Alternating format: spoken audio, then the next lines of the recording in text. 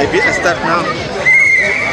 اليوم آه، مرة أخرى ال- الاستبدادي أو الرأسمالية العالمية في احتفال اللي هو من المفروض أنه آه، أنه لل- للطبقات الشديدة والطبقات العاملة وعنده بعد اجتماعي في مقتل طبقات شغيلة في هي طبقة المتطوعين ولجنة التنظيم تقوم يعني تقسم المستحقات المالية للمتطوعين من اللي كانت معناها 10000 اللي هي أصلا أساسا يعني ما تجي شيء. تقوم بإنقاذها 5000 هذه القضية مش في الفلوس في القضية في, في, الم- في السياسة الممنهجة لتكريس ال- العبودية تكريس آه، استغلال الفاحش الانتهازي الع- الع- هذا على المستوى العالمي. نحكي أنا توا أحد المتطوعين في في في, في تنظيم المنتدى الاجتماعي العالمي مرة أخرى ضرب إلى السياسة. التونسية أولا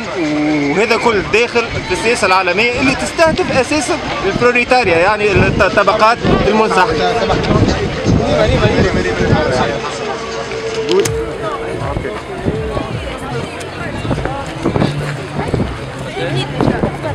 Cornelia gaat doen. What, what are we eh, going to do now? we will eh, make manifestation. Uh, the committee of orga organization because uh, they they they took off uh, remuneration of volunteers Uh, the same thing of slavery, economic and social for the poorest And category. why are this category, the volunteer, are so angry? because they uh, they feel they feel uh, uh, aggressive they feel uh, explosive uh, not explosive I, I just find expression Ah. uh, explo- exploited. Yeah, yeah, yeah. uh, this is mainly uh, the, the salary was uh, 10 dinars per day. Uh, now they told them, the committee of organization, uh, they told them uh, that it's 5 dinars.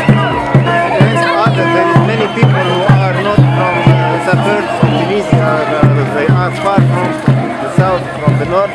Okay. They, imagine they are jobless, they are even the, even the, the people who have diploma, higher diploma from university. Aslema?